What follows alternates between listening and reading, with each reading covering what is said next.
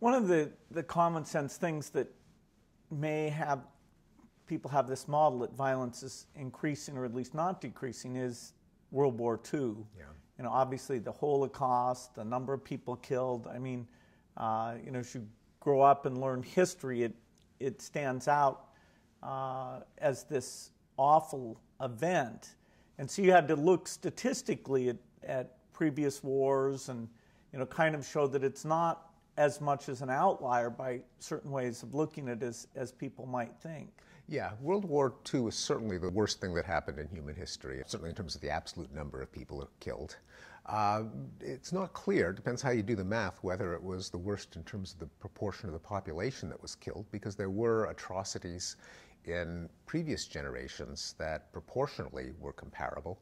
The European wars of religion, the Mongol invasions, to say nothing of tribal warfare that could kill a much larger percentage of the population than died in World War II. There's no doubt that World War II was an extreme case.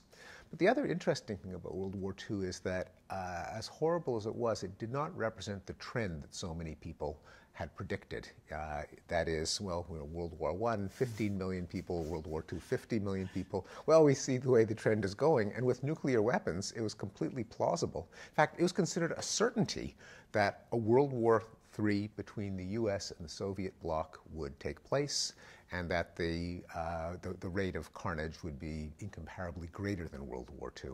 So that never happened. It's not going to happen. Uh, and that is good news that not enough people uh, appreciate. Uh, World War II, in a sense, was the culmination of uh, two, two long-term trends. Wars over 500 years of great power conflict. Wars got uh, less and less frequent. It used to be countries would go to war at the drop of a hat, and the, the great powers, you know, the Spanish, the English, the Ottomans, were pretty much always at war with each other. Over time, they, the, the number of new wars per year got less and less and less.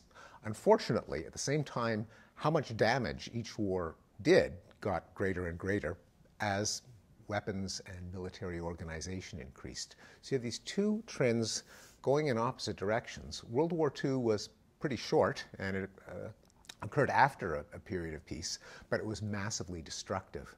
What happened after World War II is that the destructiveness of wars, how, once you start a war, how many people do you kill per country per year, did a U-turn.